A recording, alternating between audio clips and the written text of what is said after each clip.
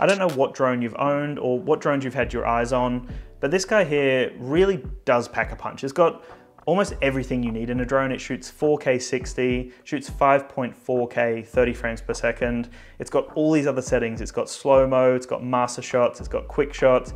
It's really quite a remarkable piece of technology.